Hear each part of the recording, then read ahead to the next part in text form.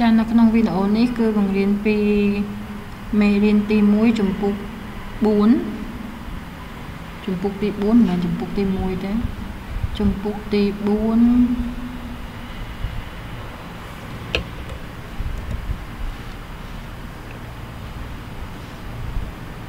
កូអរណេនៃចំណុចនៅក្នុងប្លង់អញ្ចឹងចំណុចទី1គឺមុននឹងចូលដល់កូអរណេចំណុចក្នុងប្លង់គឺគេណែនាំអំពី coordinate នៃចំណុចនៅលើបន្ទាត់ចំនួនអញ្ចឹងមុននឹងស្គាល់ coordinate នៃចំណុចនៅលើបន្ទាត់ចំនួនគឺយើងស្គាល់តាតើអ្វីជាបន្ទាត់ចំនួនសិនចំណុចទី1.1គឺ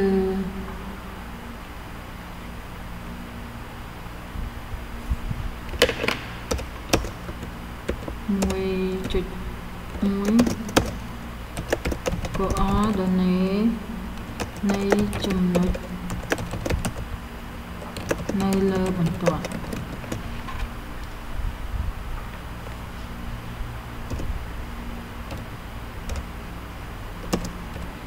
ក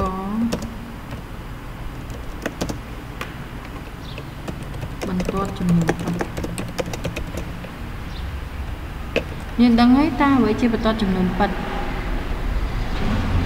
បន្ទាត់ចំនួនពិតគឺជាបន្ទាត់ដែលមានដៅចំនួនពិតនៅលើហ្នឹងអញ្ចឹងមានន័យថាឧទាហរណ៍ថាយើងដៅចំណុចណាមួយនៅលើបន្ទាត់ចំនួនហ្នឹងគេនៅគូយកលេខនេះលេខ0ហើយលេខនេះ a អញ្ចឹងមានន័យថាបើសិនជាយើងដៅតម្លៃ a ចំណុច a នៅត្រង់ចំណុចណាមួយនៅលើបន្ទាត់ចំនួននោះ ចំណុច a របស់យើងនឹងនឹងមានចំជាមួយនឹងតម្លៃលេខណាមួយនៅក្នុងលើហ្នឹងហើយអញ្ចឹងបើសិនជាដៅបែបនេះគឺ a នេះចំលេខ3ហើយបើសិនជាដៅនៅខាងឆ្វេងរាប់មកគឺ4ឯកតាអញ្ចឹងកន្លែងនេះគឺចំដក4អញ្ចឹងមានចំណុច B ណាមួយមកទៀតមកអញ្ចឹងមានន័យថាគ្រប់ចំនួន គ្រប់ចំណុចនៅលើបន្ទាត់ចំនួននៅកន្លែងណាក៏បាន ជាទូទៅគឺត្រូវនឹងតម្លៃចំនួនពិតណាមួយនៅលើហ្នឹងហើយតម្លៃចំនួនពិតដែលត្រូវជាមួយនឹងចំណុចរបស់យើងហ្នឹងគេហៅថាជា coordinate អញ្ចឹងគេអាចសរសេរថាលេខចំណុច A នេះគឺមាន coordinate គឺស្មើ3ចំណុច B នេះបើយើងរាប់មកគឺមាន4ឯកតា ខាងឆ្វេងលេខ0អញ្ចឹងវាត្រូវជាមួយនឹងចំនួនអវិជ្ជមានអញ្ចឹងគេហៅដក4នេះជា coordinate របស់ចំណុចចំណុច B អញ្ចឹងគ្រប់ចំនួនប៉ិតណាក៏បានដែរឧទាហរណ៍គឺដៅ m នៅកន្លែងណាមួយចុះអញ្ចឹងគ្រប់ចំនួនប៉ិត m គ្រប់ចំណុច m ដែលរត់នៅលើបន្ទាត់នៅកន្លែងណាក៏បានពីដកអនន្តទៅដល់បូកអនន្តជាទូទៅគឺគេមានចំនួនប៉ិត x មួយដែលត្រូវជាមួយនឹងចំណុច m របស់យើងហើយ x ហ្នឹងគេហៅថាជា coordinate របស់ចំណុចចំណុច m ហ្នឹងអញ្ចឹងយើងអាចនិយាយថាជាទូទៅគ្រប់ចំណុច m នៅលើបន្ទាត់ចំនួនប៉ិតនៅលើបន្ទាត់ចំនួនប៉ិត គេមានចំនួនប៉ិតមួយតែមួយគត់គេមានចំនួនប៉ិតតែមួយគត់ដែលត្រូវជាមួយនឹងចំណុច m ហើយចំនួនប៉ិតតែមួយគត់ហ្នឹងគេហៅថាជា coordinate នៃចំណុច m ជាចំនួនប៉ិតតែមួយគត់ដែល ជា coordinate coordinate នៃចំណុច m អញ្ចឹងពេលនិយាយពី coordinate នៃចំណុចនៅលើបន្ទាត់ចំនួន គឺគេកំណត់សរសេរបែបនេះគេសរសេរចំណុច m បន្ទាប់មកដាក់មុខកញ្ចក់ហើយខាងក្នុងនេះអញ្ចឹងអាហ្នឹងគេហៅថាចំណុច m មាន coordinate x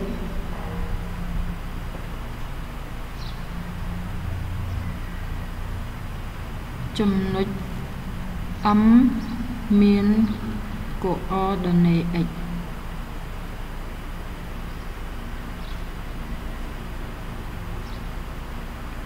បន្ទាប់ពីយើងស្គាល់ពី coordinate នៃចំនួនពិតនៅលើបន្ទាត់ចំនួនហើយ គឺយើងទៅស្គាល់ពីរបៀបគណនាចម្ងាយ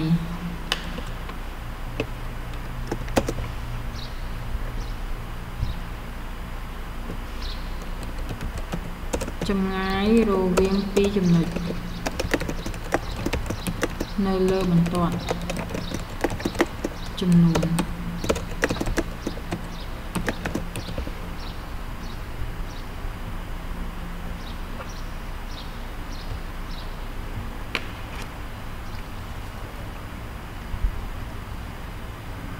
អញ្ចឹងឧទាហរណ៍ថាយើងមានបន្ទាត់ចំនួន1អញ្ចឹងនៅលើបន្ទាត់ចំនួនហ្នឹងគឺ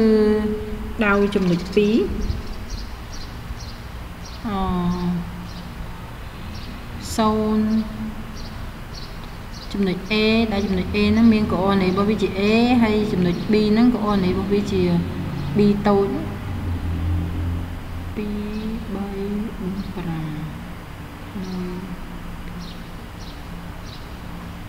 5អញ្ចឹងឧទាហរណ៍ថាអឺដាក់ជាលេខ នេះត្រូវជាមួយលេខ4នេះត្រូវជាមួយនឹងដ5ដោយសារ1 2 3 4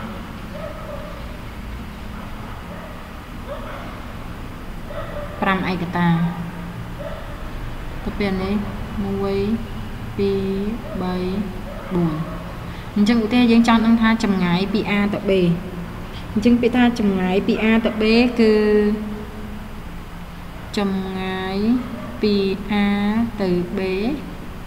គឺកំណត់សរសេរដោយ D ហ្នឹងពី A ទៅ B ក៏បានឬមួយក៏សរសេរឲ្យងាយស្រួលគឺ A AB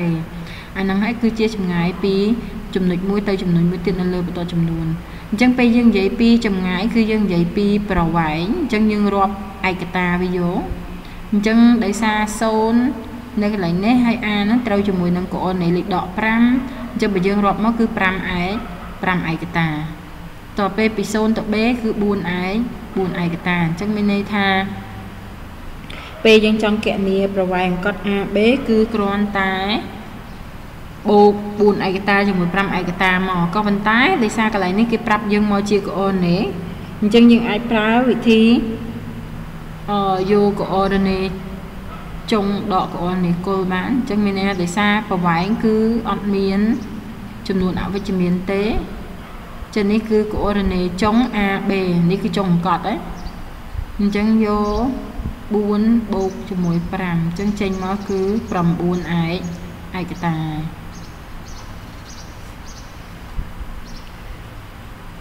អញ្ចឹងមានន័យថាបើសិនជាយើងកំណត់ជាទូទៅថា B នេះមានកូអឺណេ B ហើយ A នេះមានកូអឺណេបា A អញ្ចឹងយើងអាចទាញ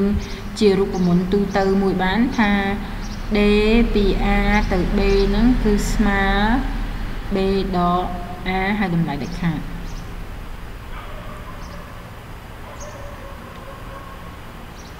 នេះគឺជាចម្ងាយពី A ទៅទៅ B ទីហោមួយទៀត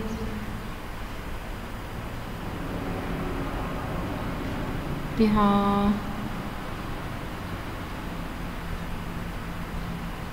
គេឲ្យ A ហ្នឹងគឺស្មើដក7 B គឺស្មើដក5 C ស្មើ3អញ្ចឹងគេឲ្យយើងកណនា A B B C A C ជីមើលរូបមន្តមក A B គឺស្មើ B ដក A B របស់យើងគឺដក5 ដកឲ្យ A ចឹងនេះគឺ A B C ស្មើដក5ដកឲ្យដក7ចឹងនេះគឺស្មើដក5បូក7គឺស្មើ2អ BC ជាង C ដក B C គឺ3ដក B គឺដក5អញ្ចឹងបាន3បូក5ចឹងស្មើ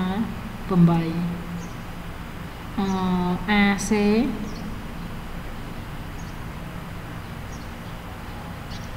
C ដក A ចឹងបាន3ដកឲ្យដក7ចឹងស្មើ3បូក7ស្មើ10ចាឥឡូវយើងស្គាល់ពីចម្ងាយរវាងពីរចំណុចនៅលើបន្ទាត់ចំនួនដែល យើងចូលទៅមួយចំណុចមួយទៀតគឺគេហៅថាជាចំណុចចែកក្នុងអង្កត់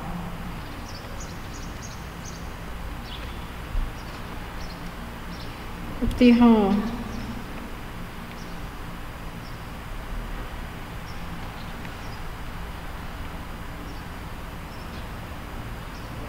គេឲ្យចំណុច A ស្មើ1 B ស្មើ11ហើយ P ស្មើ4គេឲ្យយើងពេលហ្នឹងជាចំណុចមួយជាចំណុច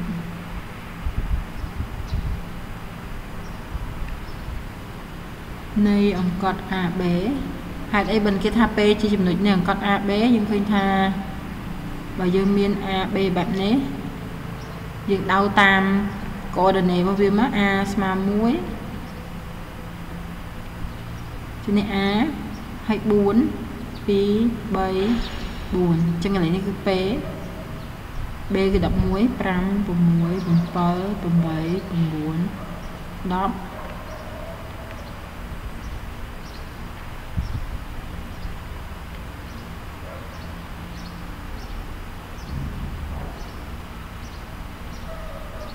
11អញ្ចឹងលេខនេះគឺ B អញ្ចឹងយើងឃើញថាបើសិនជា B បែបហ្នឹងអញ្ចឹងនោះ B របស់យើងគឺរាប់មកនេះគឺ4ហើយនេះគឺម៉ាន7អញ្ចឹងគេថា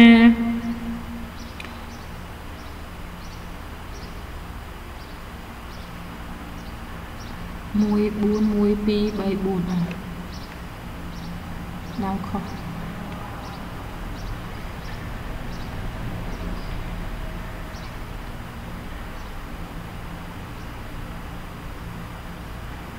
មួយពីរបីបួនចាលេខ1នៅនេះ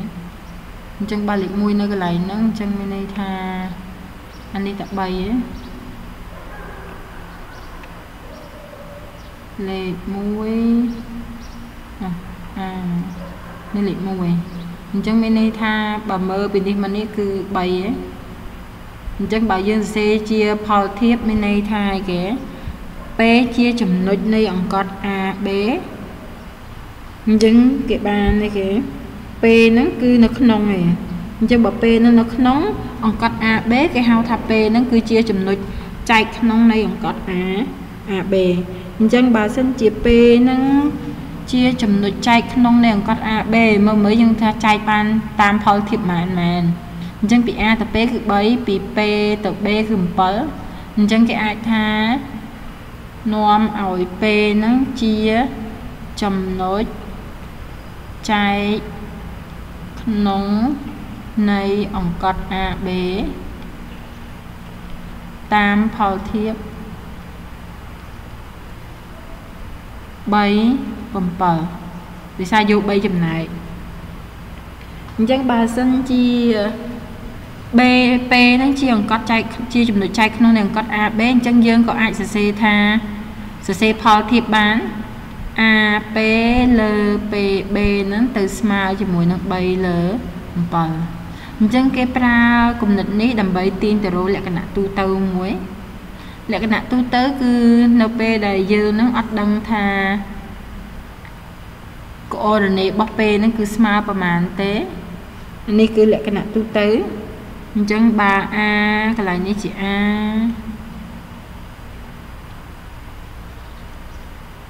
កន្លែងនេះជា A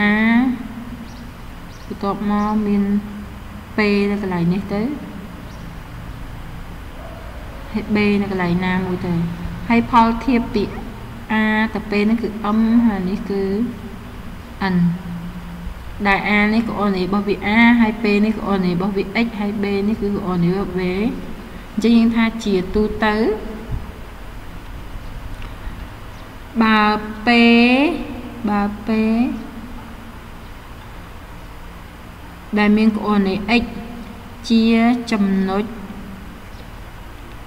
ចែកក្នុងនៃអង្កត់ AB ដែល A ហ្នឹងគឺកូននៃ A ហើយនឹង B គឺកូននៃ B នោះ P ហ្នឹងគឺត្រូវតែត្រូវផ្ទៀងផ្ទាត់លក្ខខណ្ឌលក្ខខណ្ឌហ្នឹងគឺលក្ខខណ្ឌសមាមាត្រអង្កត់របស់យើងហ្នឹង AP លើ PB ហ្នឹងគឺស្មើ M លើ N ចំពោះ m ហ្នឹងគឺធំជាង0ហើយ n ហ្នឹងគឺធំជាង0ដែរ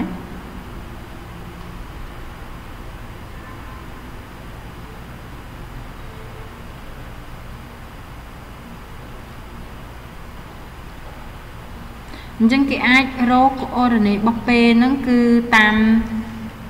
ផលធៀបអង្កត់នឹងបានអញ្ចឹងឧទាហរណ៍ថាយើងមកយកថា អាហ្នឹងគេគេបំបែកទៅជារូបមន្តណាអញ្ចឹងយើងមកមើលថាតើ AP របស់យើងគឺស្មើអីបើយើងរកតាមកូអូរ៉ាណេ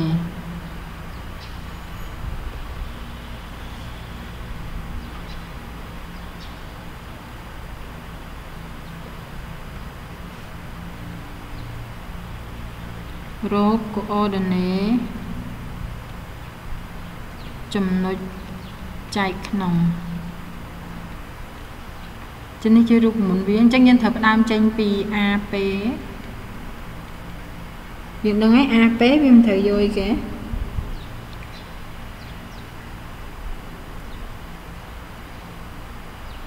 ឧទាហរណ៍គ្រូតា P នេះជា x នេះក៏នេះបែបអញ្ចឹងមិនចេញ x ដកអា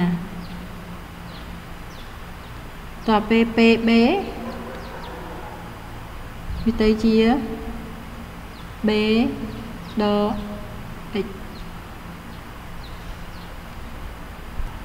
បើយើងយកវាទៅចំនួននៅក្នុងផលធៀបបង្កត់ខាងលើ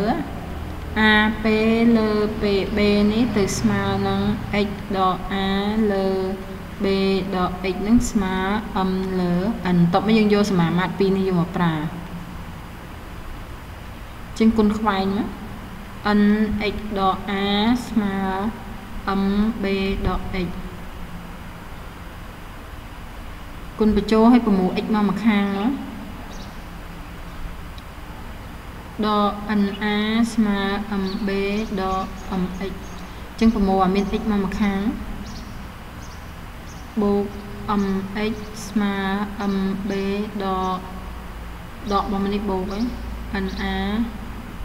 ចាប់ x ជាកតាអញ្ចឹងសល់អានេះ mb បូក na x នឹងស្មើ mb បូក na លើ m បូក n នេះជារូបមន្តរបស់វារូបមន្តកូអូរ៉ាណេនៃចំណុចចែកចែកក្នុងទីហោ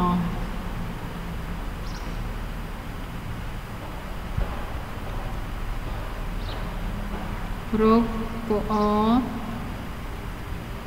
ដល់ណេនៃចំណុច P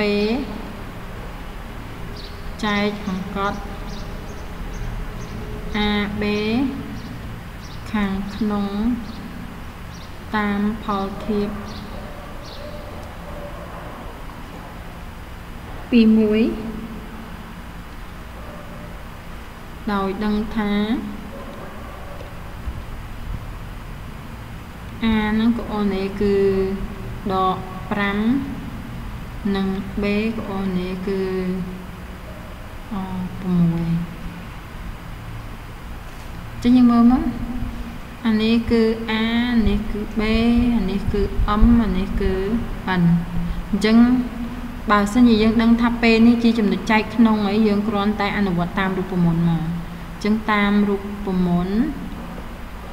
x ស្មើ mb បូក na លើ m បូក n អញ្ចឹងគេបានតែយើងមើលមើលគេមានអីខ្លះបំរាប់អ a គឺដក 5b គឺ6ផលធៀប mn ហ្នឹងគឺស្មើ21អ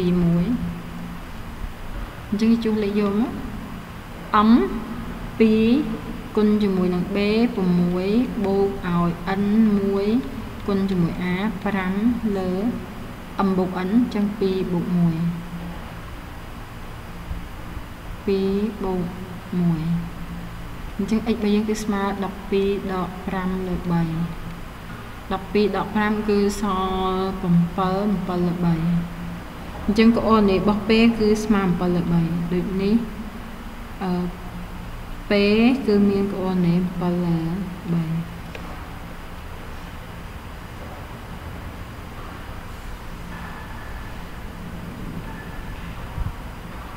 ចំណុចចែកក្រៅ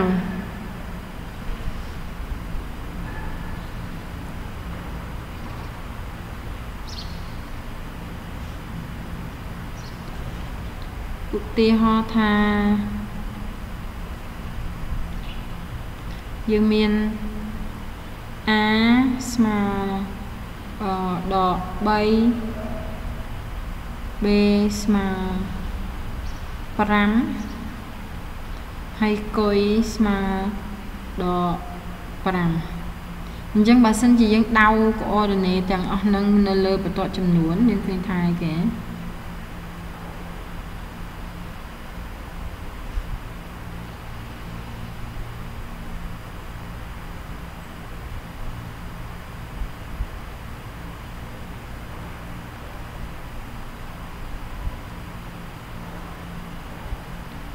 ដក5ដក4ដក3ដក2ដក1 0นั่นណាចឹង1 2 3 4 5ចានេះគឺ A នេះគឺ B នេះគឺ Q អញ្ចឹងយើងឃើញថាបើសិនជាយើងមើលចំណុចគុយទៅធៀបជាមួយនឹងអង្កត់ AB ឃើញគុយរបស់យើងគឺនៅក្រៅឬមួយនៅក្នុងអង្កត់ AB នៅក្រៅចឹងណាអញ្ចឹងបើសិនជាគុយនឹងនៅក្រៅអញ្ចឹងអាហ្នឹងគេហៅថាជាចំណុចចែកក្រៅហើយអញ្ចឹងចំណុចចែកក្រៅហ្នឹងយើងក៏អាចរកផលធៀបរបស់វាបានណាឧទាហរណ៍ថាគេឲ្យយើងកណនាអាគុយធៀបជាមួយនឹង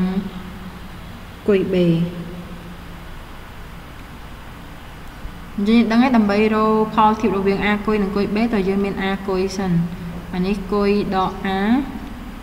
គុយរបស់យើងគឺដក5ដកឲ្យដក3អញ្ចឹងស្មើអដក2ចេញមកបាន2គុយ b គឺ b ដកគុយ b គឺ5ដកគុយអញ្ចឹងដកឲ្យ5ទៀតអញ្ចឹងបានដក បាន10បាន10អញ្ចឹងស្មើ10អញ្ចឹងមានន័យថាគេបានអាគុយលើផលធៀបគឺយើងអាចសេថាចុច2ក៏បានសេប្រហែលទីចែកចេះក៏បានគឺស្មើ2លើ10អញ្ចឹងសម្រួលទៅបាន1លើ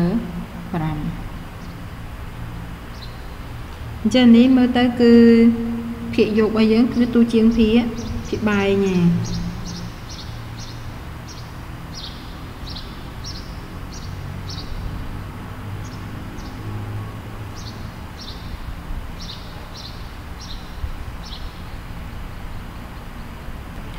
ចឹងកន្លែងនេះយើងអាចសម្គាល់បានថាជាទូទៅបើសិនជាភាគយកហ្នឹងគឺភាគយកតូចជាងភាគបែងអញ្ចឹងនោះចំណុចគុយរបស់យើងគឺស្ថិតនៅខាងឆ្វេង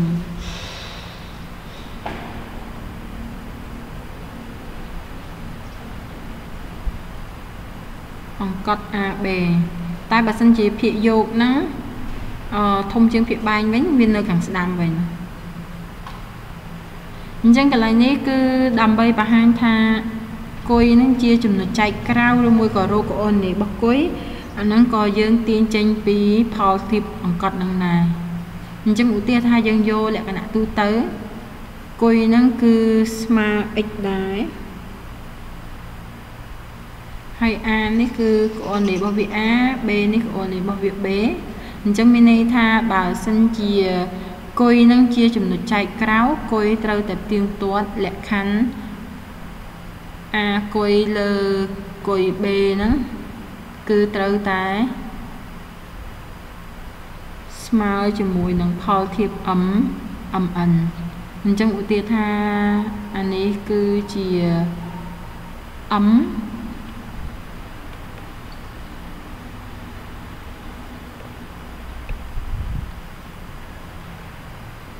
អញ្ចឹងពីនេះមកនេះគឺ m ហើយពីនេះមកនេះគឺ n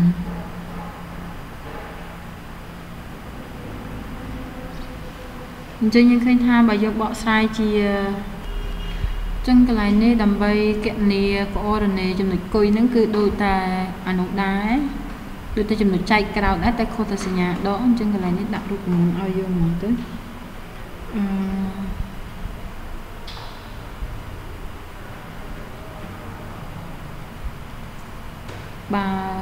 1មានក្អននៃ x ចែកអង្កត់ AB នឹងខាងក្រៅតាមផលធៀប MN អញ្ចឹងនៅអឺ x របស់យើងនឹងគឺស្មើ MB ដល់ NA លើ M ដល់ N អញ្ចឹងនៅកន្លែងចំណុចកនៃរបស់វានឹងអាចមានពីរទីតាំង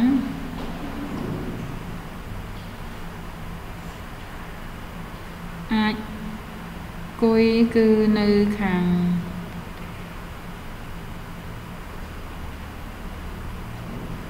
ឆ្វេង AB ហើយនឹង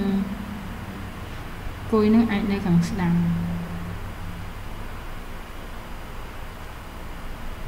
បើសិនជាអភិយោគនេះតូចជាងភាគបែនចឹងគួយនៅឆ្វេងហើយបើភាគយោគនៃផលធៀបរបស់វា MN ណា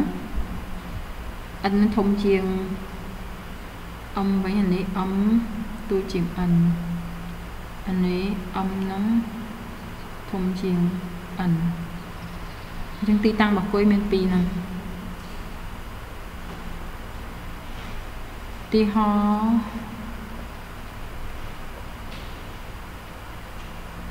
រោគអនេចំណុចរោគកអដនេនៃគុយជាចំណុចចែកក្នុងជាចំណុចចែកក្រៅចែកក្រៅនៃអង្កត់ AB ដែល A ហ្នឹងគឺស្មើជាមួយនឹង3 B ស្មើ 7តាមផលធៀបអឺ3 2ចេញមើលដឹងមកនេះគឺជា A នេះគឺជា B M N អញ្ចឹងនេះប្រើរូបមន្តយកតាមរូបមន្ត x ស្មើ mb ដក na លើ m ដក n អញ្ចឹង x របស់យើងគឺស្មើ m គឺ3គុណនឹង7ដក2គុណនឹង3លើ3ដក2ចឹង21ដក6លើ1 20ដក6សល់14 15សល់15ចឹងមានន័យថាបើសិនជាយើងដៅមើលចំណុចមើលគឺ ទីលេខនេះលេខ3ចឹង3 4 5 6 7 8 9 10